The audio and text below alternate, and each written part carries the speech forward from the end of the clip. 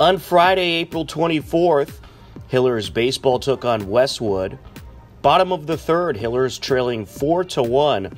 Steve Simos got a rally going.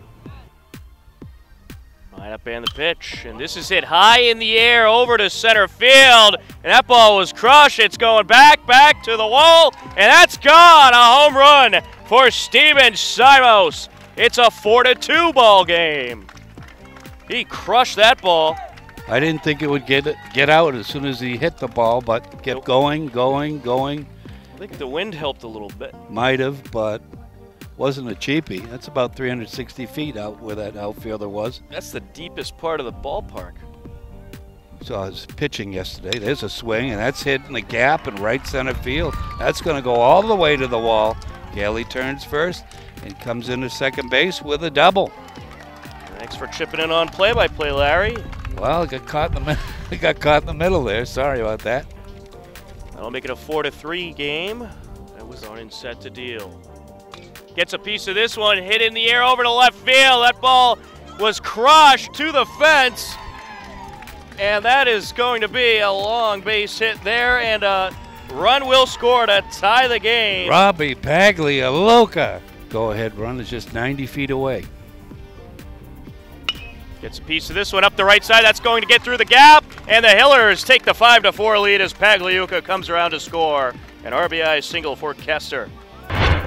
It was 5 to 4 heading to the top of the fourth, but Westwood put together an 8-run inning and they would end up taking the game 15 to 11. The Hillers had a good response on Monday, April 29th when they took on Millis. It was scoreless heading into the bottom of the first, but it wouldn't stay that way for long. Big games this week for the Hillers as this is hit in the air to right field. It'll fall in. Simos comes around to score. It's an RBI single for Drew Rankatori. 2 0 Hillers. Kelly. And he gets a piece of this one to center field. It goes way back towards the fence, and that'll drop in. One run is in to score. RBI double for Connor Kelly. He absolutely tattooed that ball. It ended up being a seven run inning for the Hillers. Alex Barker Hook added on in the bottom of the second.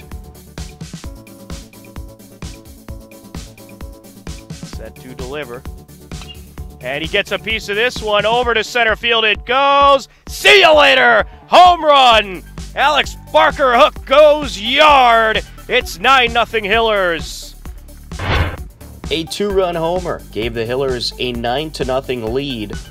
Despite a bit of a surge in the later innings by Millis, Hopkinton would walk away with the 12 5 win.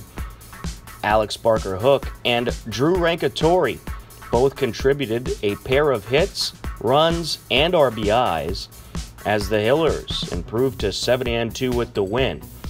Hillers went on to capture a 6 5 road win on Wednesday, May 1st in Medfield and currently stand at 8 wins and 2 losses on the season.